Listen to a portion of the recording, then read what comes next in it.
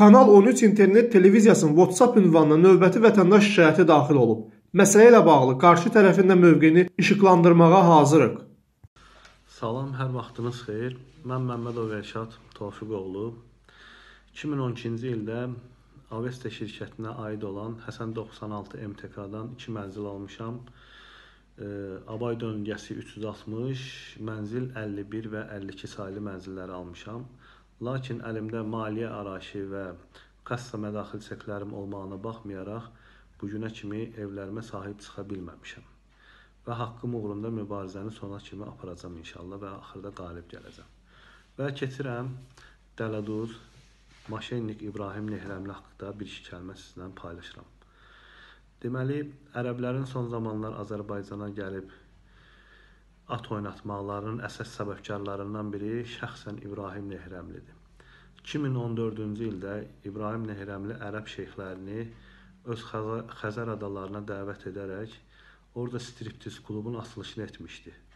Və orada striptiz klubda həmin o ərəb şeyxlərinə şəxsən ilk dəfə e, fahişəliyi təbliğ elətdirən İbrahim Nehrəmli olub və bunu bütün mətbuat yazıbdır. Mən də təkrarlayıram.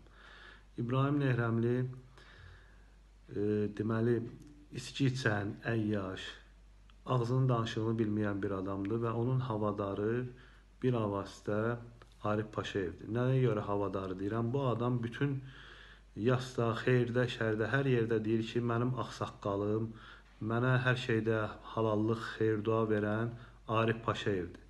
Və Arif Paşayevə səslənirəm ki, Arif Paşayev, Yəni sizin adınızı bu boyda çəkən adama nəyə görə bu günə kimi bir tədbir görmürsüz? Bu adam bizim 17 dənə şəhid verdiyimiz günü striptiz klubun açılışını eləyir. Lüt qızları səhnələrdə çıxardır, turbalara dırmaşdırır və orada əylənir. Bu adam öz katibəsinə 200 minlik cip maşın alır. Həmin o öz adasında tikdirdiyi pivə zavodu, striptiz klub barlar, kabinetlər, əyləncə mərkəzlərində şellənir, yeyir, içir və katibəsi piyan gedir dövlət yol polisinin əməkdaşları bunu saxlayır və bu qayıdır e, katibə qayıdır deyir ki, siz bilirsiniz mən kiməm, mən bu saat hacıya zəng eləyəcəm və bu bütün e, sosial şəbəkələrdə, bütün mətbuatda getdi, lakin bir tədbir görülmədi. İbrahim Nehrəmli hətta e, Xəzər adalarında 2014-cü ildə Qüdrət Həsənquliyev demişdi ki, kazinolar açılsın və İbrahim Nehrəmli demişdi ki, bəli, kazinolar açılsa mən ölkəmizə milyardlar qazandıra bilərəm. Kazinolar istirahət yeridir. İstirahət, mədəni istirahət eləmək olur. Hətta elə deyir mən məmurlar, iş adamları tanıyıram ki, həftədə 4 gün gedir Gürcüstanda kazinolarda istirahət eləyir, oyun oynayır. Yəni bunun tanıdığı adamlar hamısı kazino, qumarbaz, alkaş, əyyaş, Arif Paşayev, siz bunu nəyə görə durdurmursunuz? Şəxsən sizin adınız olan yerdə Zakir Qaralov, Kamran Əliyev, Rüstəm Yusubov bu günə kimi susurlar. Bu adam, bu adam striptiz klub açır, kazino açmaq niyyətindədir. Adasında pivə zavodu tikdirib. Nə bilim, uşaqları bu saat elə onun yolunu gedir Londonda bahalı maşınlar, əyləncəli qızlar, qızlarla nə bilim şəkilləri sosial şəbəkələrdədir. Bu adam axı xərclədiyi pullar hamısı millətin pulundan gedir. Bu adam görün nə həddə çatıb ki, 125 ölkədən 125 gözəl gətirir. 125 ölkədən 125 gözəl gətirməyin puluna görün Azərbaycanda nə qədər imkansız insanlar var. Şəhid ailələri, məcburi köçkünlər, dərman ala bilməyənlər. 125 ölkədən gözəl gətizdirmək, bunların samolyot xərclərini vermək, gətirib burada yedizdirmək, içizdirmək, təzədən bunları yola salmaq, bunları oteldən təmin eləmək. Axı bu pullar hanı? 2019-cu ildə demişdi ki, mən adanı təhvil verəcəm. Amma indi bu adam gedir saatlıdır ya Sabirabaddır, çöküb orada millətin canına torpaq sahələrində əlindən alır, nə bilim balıq saxlayır, nə edir. Yəni mənim 355 min əlimlə verdiyim pulu bu adam gedir qumar oynayıb 100% Gürcüstanda uduzubdur ya kazinolarda. Axı buna nəyə görə susursuz? Zakir Qaralov, yəni bu haqsızlıq nə vaxt duracaq?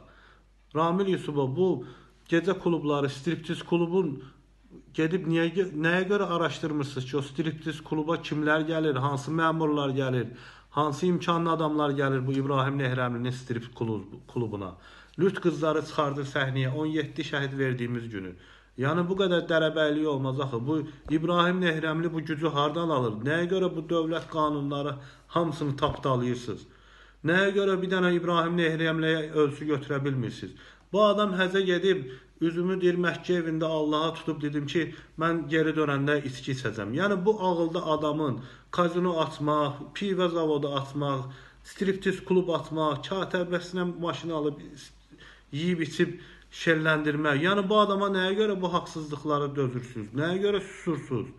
Yəni bir daha sizə vurğulayıram. 24 iyulda Aşbanın qarşısında bütün bu haqsızlıqlara son verilməsə, Aşbanın qarşısında mühacir dostlarımla bir yerdə, yəni bax bu aksiyanı eləyəcəm. Bu haqsızlığa son deyirəm mən. İbrahim Nehrəmli cəzalanmalıdır, həbs olunmalıdır. Özü kimi də qardaşı. Hansı ki Natiq İbrahimov məni ölümlə hədələyib. Mühafizəçisi məni ölümlə hədələyib.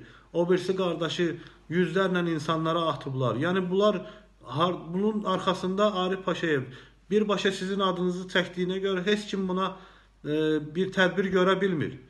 Bir daha səslənirəm. Bu haqsızlığı dur- durdurun. Durdurmasaz 24 iyulda Aşbanın qarşısında bütün ölkə ilə bir eləyəcəm. Rəzil eləyəcəm sizi. Sağ olun.